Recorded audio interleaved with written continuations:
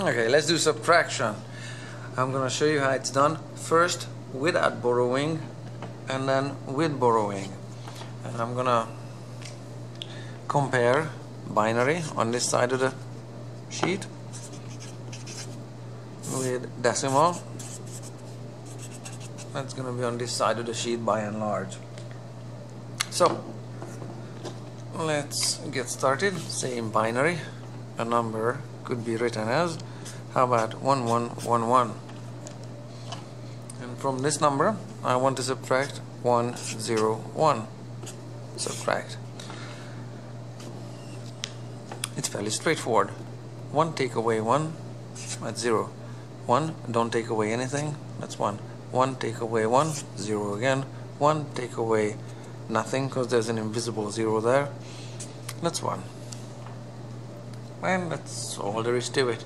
It's fairly straightforward. It's very similar to in terms of decimal thinking if you have a number like say 256 and uh, and, and that's that's not these amounts are not parallel. The thinking is parallel okay? Not these actual amounts because that's not 256 and say a number it's got to be just less than 2 less than 5 and less than 6 how about that number? And you subtract it straightforward 6 minus 5 1 4 minus 4 taken away from the 5 is 1 and 1 minus 2 is also 1 so you see when the amounts in the lower number are less than the amounts in the upper number you can just subtract without having to borrow and do uh, any kind of uh, extra work with borrowing Okay, so that's straightforward without borrowing. Next page. Sorry. With borrowing. Let's have a decimal amount. Say 1000. That's a nice convenient amount and from it we want to subtract 101. You cannot take away 1 from a 0. You need to have an amount here. And for that you need to be borrowing but you can't borrow from here because there's nothing there. You can't borrow from here because there's nothing there. You have to borrow from all the way there. And just to help you visualize this one here's a visual jogger here. This is the ones column consistently. And these are the twos these are the fours and those are the eights. So let's get started.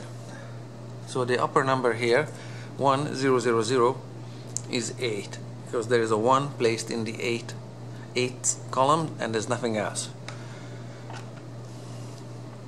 This one is done is that you take away that 1 and there's gonna be 0 here. So this is 8 instead of having one eight dollar denomination. We're gonna have how about first round? We're gonna have two we're gonna have instead of two four dollars. How about that? Instead of one eight dollar denominations we have two pieces of four dollar denominations okay? Previously we have zero zero four dollars here. Now we're gonna have two four dollars there. But remember two is written as one zero in binary. Here's a memory joker. One two and three. Are written as. Okay here is 0 as well. 0 is 0 1 is 1 2 is written as 1 0 and 3 is written as 1 1 because these are the ones and those are the twos. So one placed in the twos column that's 2 one placed in the twos column and one placed in the ones column that's 3 altogether okay so now we have instead of one piece of an eight dollar denomination we have two pieces of fours okay? That's still eight. That's nice for the fours column but I also need something in the twos column. So I'm gonna take away one from the two and I'm gonna have one four left and I'm gonna have two twos. One four and two twos is the same thing right? We still have eight in total. A four dollar denomination and two two dollar denominations there. That's still eight bucks. That, that, that works for this column but I still need something in this last column here. So instead of two of these I'm gonna have just one of those. And I'm gonna have two loonies or one dollar coins or bills in the ones column. So four five six seven eight. We still have eight in total. Now we can start subtracting that we have something in the last column here in the ones column.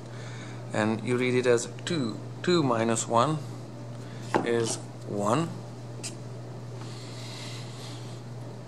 1 take away nothing is 1 1 take away 1 that's a 0 and there's nothing there. So that's the answer. You can check it on a calculator. Fairly straightforward. Let me just show you how this one's done the calculator is set to okay this is decimal mode and it's set to binary. If you go second function binary. Now the calculator is in binary mode. So let's go 1 0 0 0 minus 101 equals 1 1 and if you want to know what these are in decimal you're gonna have to convert it or just press second function decimal. So the last answer was 3 that one is 3 there. Same thing. And uh, it works exactly this this kind of thinking is exactly the same as in the decimal thinking. Okay. In the decimal thinking say we've got I don't know we've got a 500 bucks and uh, we want to pay uh, $27 from it just very quickly same kind of thinking. Instead of five $100 bills I'm just gonna have four $100 bills and these are the tens and these are the ones. And uh, and I want just, just four of those and 10 pieces of these okay? Four hundreds and 10 tens. I still have 500 bucks right? And instead of 10 tens you know what? I want just nine tens, and I want 10 ones. 4 hundreds 9 tens. It's 490 plus 10 ones. That's still 500 that's how borrowing is done for subtraction in the decimal. Exactly the same thing in terms of logic. And now you can take away from 10 take away 7 that's a 3 9 minus 2 that averages to be 7 and 4 take away nothing. That's a 4 so same logic throughout. One more example. Oh that's bad. Okay done. One more subtraction maybe a little more challenging. Say we've got 1011 take away 101 and take away one more amount 1 1 now what do we do? We're gonna have to borrow again because we cannot take away 2 from that 1 we need to have this amount increased. We need to borrow from these ones across here so that this one increases a bit. As a reminder again those are the ones column the twos the fours and the eights and uh, this is how it goes. Instead of 1 placed in the eighths column I'm gonna have 0 placed in the eighths column and I'm gonna have two fours instead of zero fours. Okay because 1 8 splits into two fours. That's that's a given. Instead of two fours which is still an 8 I want to split it and I want only one 4 remaining here. And I want two twos. Two twos plus 1 4 that's still an 8 now these two twos add to the existing one here. So you have to add that 1 0 and a 1 together and that's gonna make a 1 1 a 3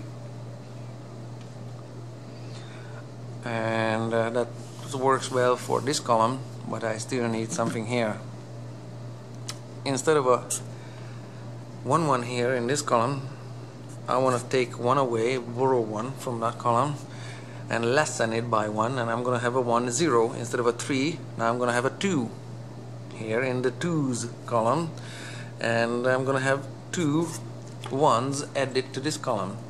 But these new twos add to the existing one here this is an upside down addition and you're gonna have one one. You're gonna have three pieces of ones in the ones column. So this number here this 1011 has been regrouped into a 1 in the fours column 2 in the twos column and 3 in the ones column. That's a 4 5 6 7 8 9 that's a 9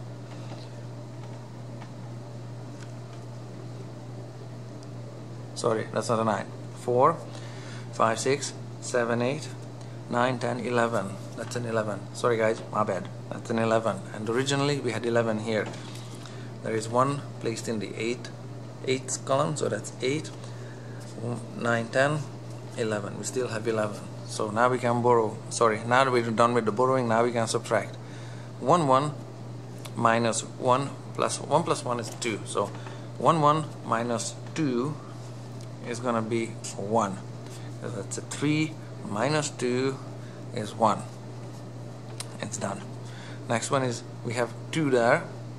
2 minus 1 is a 1 1 take away 1 that's nothing. And 0 take away 0 there's a nothing there. Let's check it on a calculator shall we? Second function binary let's enter 1011 minus 101 minus 11 equals 11 okay the math checks out. You're gonna need to borrow this subtraction and uh, and uh, borrowing for subtraction. Practice it